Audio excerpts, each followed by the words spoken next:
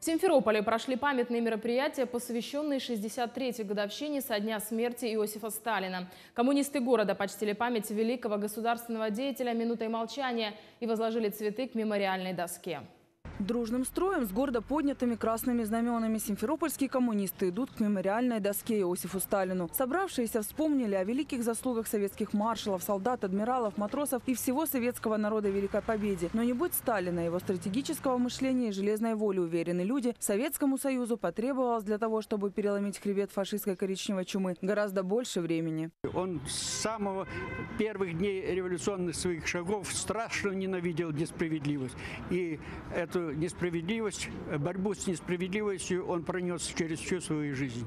Конечно же, это тот человек, который будет историей еще оценен и поставлен на то место, которое, подобающее место, которое он заслужил. По мнению коммунистов, личность Иосифа Сталина должна сегодня быть примером для современных политиков. Ведь именно при этом руководителе Советский Союз стал сверхдержавой. Если бы сейчас притворить в жизнь идеи не только Владимира Ильича Ленина, а и во вторую очередь Иосифа Виссарионовича Сталина, то сейчас бы наша матушка Россия была бы в тысячу раз могущественной, чем на самом деле она есть. Потому что Иосиф Виссарионович Сталин заложил ту э, тот потенциал, те возможности в, в России в образе Советского Союза, ту мощь, тот промышленный потенциал во время индустриализации, которым мы до сих пор еще пользуемся. Равняться на опыт отца народов сегодня рекомендуют и молодому поколению. Это все-таки стремление к самообразованию.